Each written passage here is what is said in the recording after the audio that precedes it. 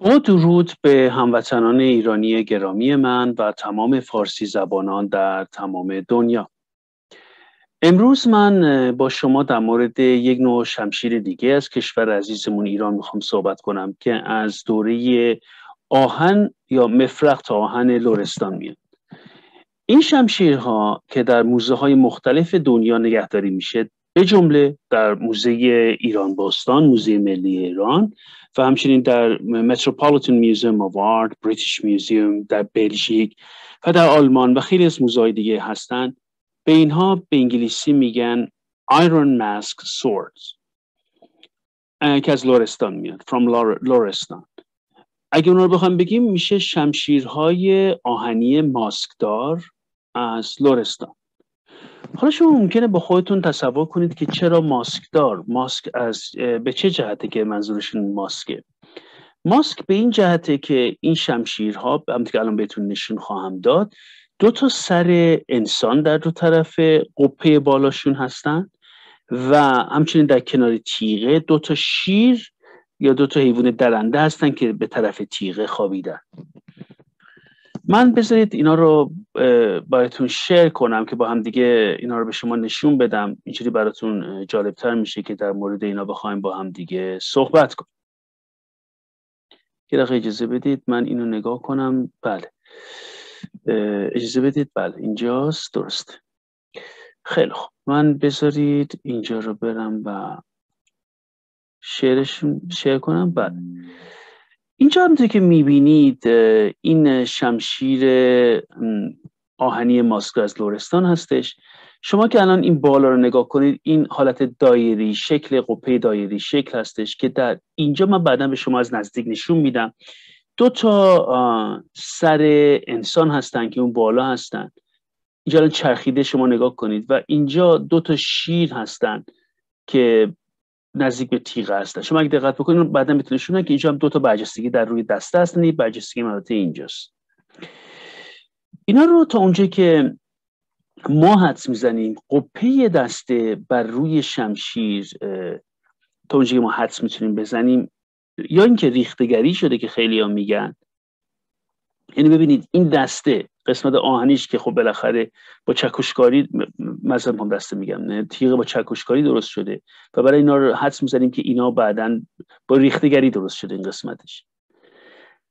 متاسفانه هیچ کدوم از این شمشیرهای آهنی ماسکدار از لورستان تا اونجا که ما اطلاع داریم حتی نمونه هایی که من در کتابم جوشن ها و سلاح ها و جوشن های ایرانی از دوره مفرق تا قاجار خیلی رو تحقیق کردم. همطور بتون نشون خواهم داد. هیچ کدوم از اونها در حفاریه علمی به دست نیومد یه چیزی هم که جالبه براتون باشه اینه که این تیغ وسطش برجستگی داره. خیلی خب بذاریم حالا بریم جلو. اول شما اینجا رو نگاه کنیم. ببینید این اون شیریه که به طرف تیغه میده نگاه کنید چشاشو نگاه کنید. و این بالا ماسک که می‌گفتیم این انسان دماغ رو نگاه کنیم بینی رو نگاه کنید چشم رو نگاه کنید گوش رو نگاه کنید و قسمت بالای پیشانی و دهن این قسمت. من بالا میام نگاه کنیم این قسمت بهتون نشون دادم نگاه کنید اینجا. و اینجا قسمت هم شیرها بودش که اینجاست. این اینها از قسمت های مختلفی درست شدن. و همونطور که بهتون گفتم بعد این رو به هم دیگه وصل شدن. و این چیزی که برای ما خیلی جالبه چه چشم شیرها و چه چشم انسان ها با حالت این داره از صدقه می‌زنه بیرون. و این هم گفتم وسط تیغه یه برجستگی داره. و ما حتی قسمت های موی این انسان رو هم می‌تونیم ببینیم.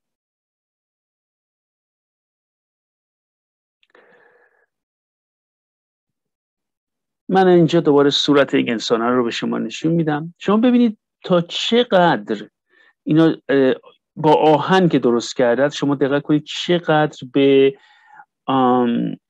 جزئیات این صورت انسان در اون موقع توجه شده. تا اونجا که ما اطلاع داریم یعنی تا اونجا که حدس می‌تونیم اینا تمام این قسمت ها اینقدر دیگه به هم دیگه با نزدیک اینا حالا چکشکاری شدن به هم دیگه وصل شدن که اصلا این اول به نظرتون یه چیکه میاد در دستتون می‌گیرید اونا به اینکه درست کنن اول تیغه درست می شده خب بله همیشه هم اینجوریه. اول تیغه رو درست می‌کردن. و بعد از اینکه تیغه رو درست می‌کردن به احتمال قوی بعد اینجا که گفتم بله تیغه رو که درست می‌کردن جدا منظورم بله. بعد دسته که به صورت یک دونه حالت پخش مانندی داره سه تا حلقه معمولا دو تا حلقه در وسط یه حلقه بالا. شما اینجا دقت که دو تا حلقه در وسط یه حلقه بالا روی دسته اضافه می شده بله اینا به این صورت بوده. بعدا خب ما حالا باید ببینیم اول تیغه درست می شده و بعد این تیغه در دسته فرو برده می شده و چکشکاری می شده و بعد از اینکه اون در دسته بوده بله به این بوده. بله شما از گفتم تیغه رو در دسته فرود می شده و بعد اون دوتا حلقه ها دور دسته اضافه می شده و یا که حلقه سوم که نزدیک بالاش بوده. و بعد اون قپه دسته رو بالا گرده رو بالا میذاشتن که به زبونی شمشی که اون توشه حالا یا نزدیکش بوده یا به نزدیک اون وصل می‌شده بتون حتی کاملا از اونجا میخپچ نمی‌شده به اون چیز. یعنی شما نگاه کنید زبونه شمشی که اینجا میره به صورت یک این شکلی میره تو نمی‌رفته اینجا اینجا به این صورت میخپچ نمی‌شده تا اینجا بوده. مثل اون مثلا خنجرهایی که ما بعدها در دوره قاجار داریم. بعد آره گفتم این قپه اضافه می شده بعد از اینکه قپه اضافه می شده بله. بعدا دیگه این صورت انسان رو بس می‌کردن بعد شیرا رو بس می‌کردن. بله بعد این دست درست می‌شد. شما نگاه کنید من همکار ما در 1968 که این مقاله خیلی قدیم چاپ کرده بود حد زد که اینا شمشیر از ده قسمت تشکیل شدن. البته من گفتم بازم ما بعضیش هستیم حتی تیکای بیشتری هم ساخته شدن. و این ده قسمت چی بود؟ دسته بوده قپه بالا بود گرده بوده. دو تا حلقه دور دسته بوده. یه حلقه دیگه اون بالا بوده که اینجا سمتی می‌بینید. دو تا حیوان درنده یا شیر بوده و خود دو تا صورت انسان بوده و خود تیغه بوده. و زبونه شمشی که توی دسته می‌رفته به صورت خودش یک زبان بوده. فکر مثل زبون میره سرش تیز میشه نه؟ و می‌رفته تو و یک چهارم دسته رو میپوشونده. یعنی شما الان مثلا فرض کنید دسته که اینجا باشه فرض کنید دسته اینجا باشه این مثل تیغه. مثلا بگیم این مثلا چهار قسمتش کنید تا تا اینجا می‌رفته. مثلا میگم بهتون. تدسیات دیگه. بعد اکس ری کنین مشخص میشه که کردن بعضی از همکارا. بله. بعد دیگه چی؟ بله. بعد گفتم مثل زبون تیز میشه زبونی تیغ که دسته میده 5 میلیمتر تو یکیش بوده 14 میلیمتر توی قسمت دیگه یعنی مثل تیزیش بوده. و شما باید ببینید سرهای انسانی یا ماسکای انسانی میخپرد شدن به این بسرا دیسک یا به این قپه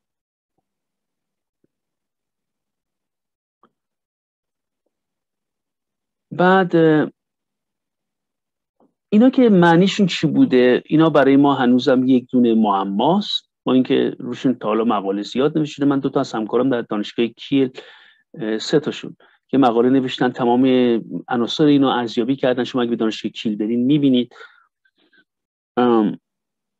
من گفتم تعدادشون حالا اولمان گفته ده تا. بعضی از این شمشیرها حتی بین هشت تا ده قسمت تشکیل شده. شما مثلا خودتون دیگه فکر کنید.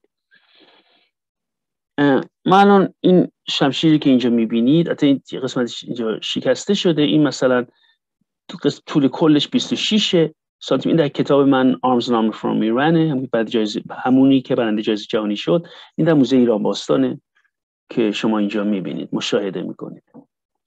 شما الان بیان اینجا نکنید دو تا نمونه دیگه اینجا می‌بینید یکیش که اینجا بلندتره. این 560 گرمه شما می‌بینید وزنش کم نیست. و 43 سانته. این یکی دیگه اگه شما نکنید 35 سانته و 520 گرم اینا نکنید که مثلا این سرش قسمش شکسته شده برای همینه چیز کم شده. به اصطلاح طولش کمتر شده. حالا من می‌خوام به شما چند تا دیگر نشون بدم. اینا خیلی زیباست. اینی که هم دارید می‌بینید این در کتاب من این رو ارزیابی کردم و اندازه‌گیری کردم. اینا از مجموعه شخصی آقای اکسل گوتمن بوده که بعدا در آلمان همش فروخته شد.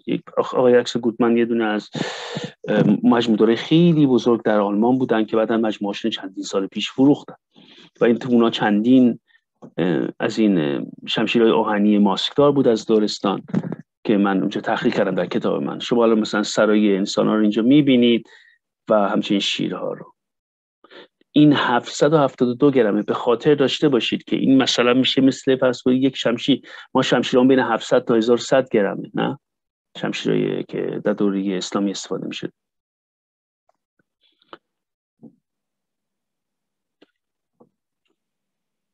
ببینید یه چیزی که برای من جالبه محققا میان میگن که شما مثلا به تیغه اینجا رو که نگاه کنید این تیغه رو نگاه کنید.